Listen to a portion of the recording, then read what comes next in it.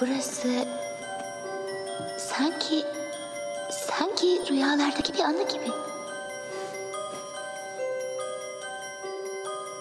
Dans eden bebekler, anılar ve hayaller